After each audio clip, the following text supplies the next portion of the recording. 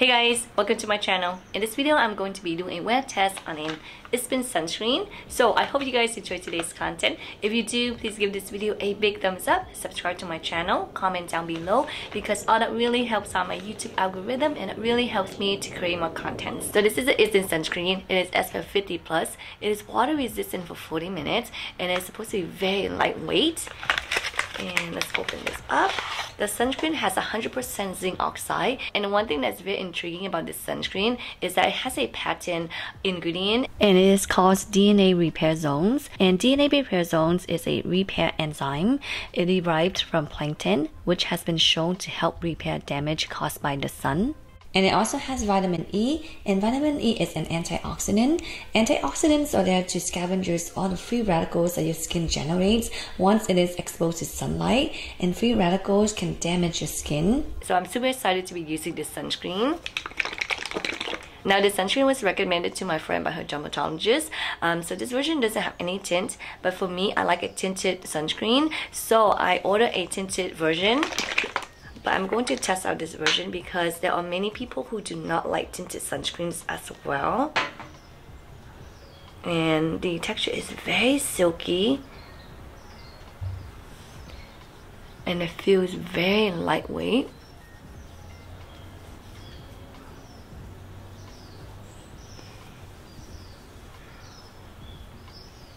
I'm going hiking today, so I'm going to put all over my eyes.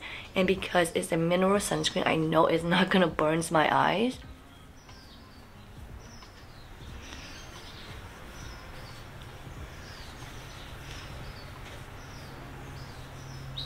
But that absorbed into my skin really fast and it's blending out really, really well.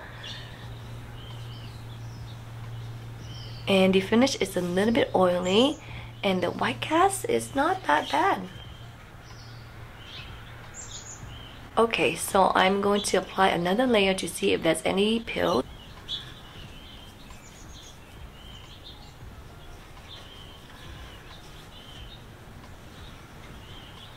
okay. And no pills so the sunscreen feels really lightweight on my skin even after the second layer. And the white cast is not that prominent. There's just a hint of it. And the finish is a little bit oily. The sunscreen may be oily for oily skin. For lips, I'm going to apply my MD Solar Sciences sunscreen. This sunscreen is SPF 30 and it is very, very hydrating. It is a chemical sunscreen and it doesn't have any weird taste to it.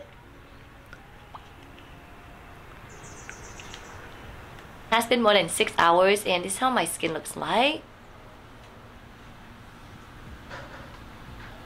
Now, I'm pretty surprised that the sunscreen did not get too oily for my oily skin.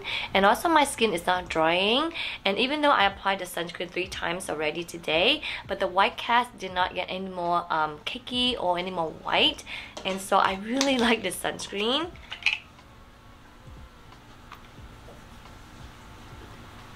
Every time I reapply on my skin, my skin still feels very lightweight and the sunscreen blends into the previous layers really really well.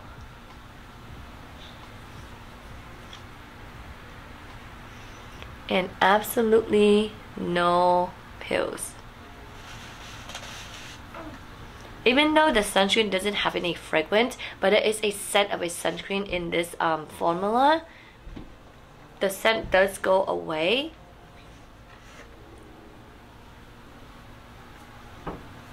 Now this sunscreen reminds me of my Mario Badescu sunscreen. This sunscreen is also very lightweight and it has the same silky texture. The Mario sunscreen has a less prominent white cast compared to the Isdin sunscreen and the consistency is a little bit thinner and both sunscreens are not too oily for oily skin Overall, I really like this sunscreen. I can't wait until my tinted version arrives. Although the packaging is kind of bulky, this is not something I'm going to carry around. It's something I'm going to put a first layer on in the morning and then apply something else I like. As I like the skincare ingredients in here. Let me know if you know anything about this sunscreen and also that DNA Repairsomes. Otherwise, thank you so much for watching. I will see you on the next video. Bye.